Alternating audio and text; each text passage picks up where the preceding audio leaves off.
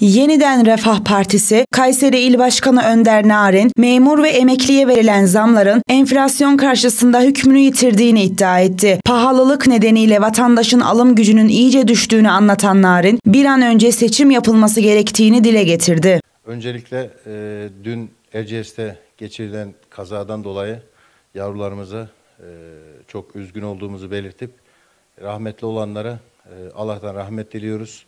E, başsağlığı diliyoruz. Yaralı olan kardeşlerimize de e, geçmiş olsun dileklerimizi iletiyoruz. Ailelerinin yanında olduğumuzu belirtiyoruz. Hastanede ziyaretlerine gittik, yine gideceğiz inşallah. E, inşallah bir daha böyle kazalar yaşanmaması dileğiyle gündemimize geçelim. İyi bir gündem olmadığı için böyle başladık maalesef. E, tabii ki memur maaşları e, çok önemli bir gündem. İki aydır, üç aydır Türkiye gündemini meşgul eden bir gündem. Memurlara zam verilmedi, maaşlarına zam yapılmadı. Niye yapılmadı diyoruz? Çünkü enflasyon farkı verildi.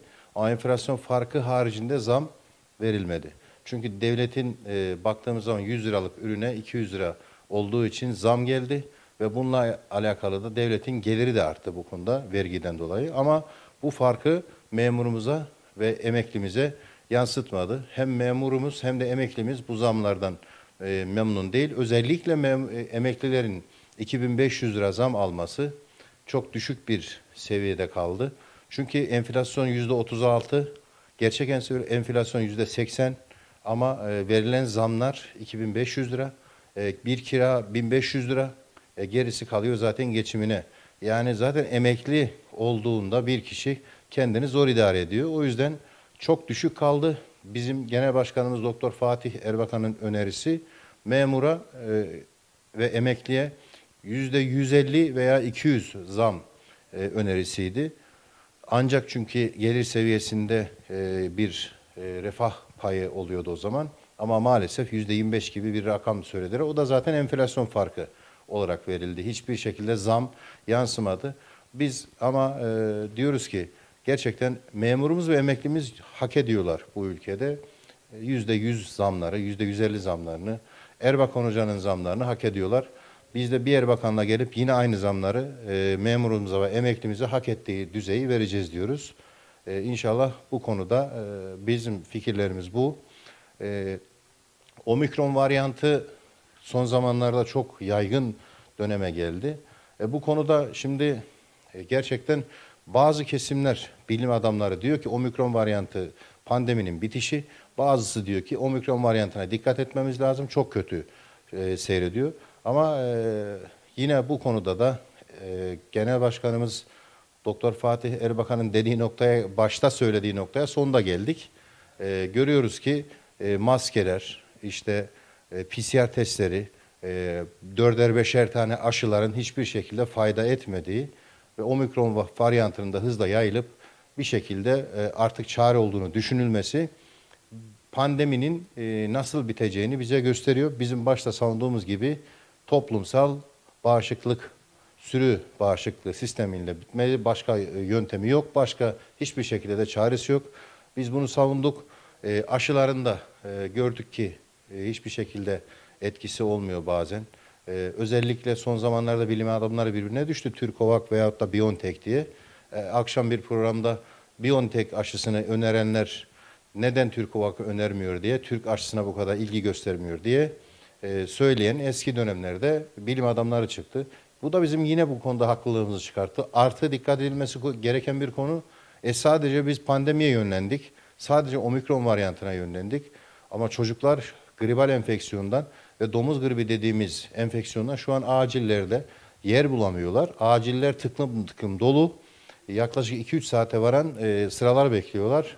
Acillerin karşısında limon satanlar oluyor. İşte e, şifa diye satanlar oluyor. Yani bu durumda e, burada ben valiye seslenmek istiyorum. Kayseri valimize, Sayın Şeyhimiz Günaydın'a. Diyorum ki yani siz il, il Hıfzı Kurulu olarak sadece yukarıdan Sayın Cumhurbaşkanımızdan bir emir gelip de pandemi konusunda mı önlem almayı düşünüyorsunuz? İl Hıfzı, Hıfzı Zıha Kurulu her dönemde faaliyete ve önleme alması gereken bir kurum. Dolayısıyla okullarda çocuklar e, tabiri caizse yani e, şeyden omikron varyantı veyahut da pandemiden hariç şu anda gribal enfeksiyondan herkes okula gidemiyor. Bu da çok önemli bir husus. Bu konuda mesela sömestr tatilini öne alıp bir hafta önceden tatil verilmesini biz buradan öneriyoruz çocuklarımızın sağlığı içerisinde. Ee, burada üçüncü bir husus zamlar biliyorsunuz halkımızın belini kırmaya devam ediyor. Yüzde 125 gibi bir Cumhuriyet tarihinin rekorunu kıran bir zam geldi elektriğe.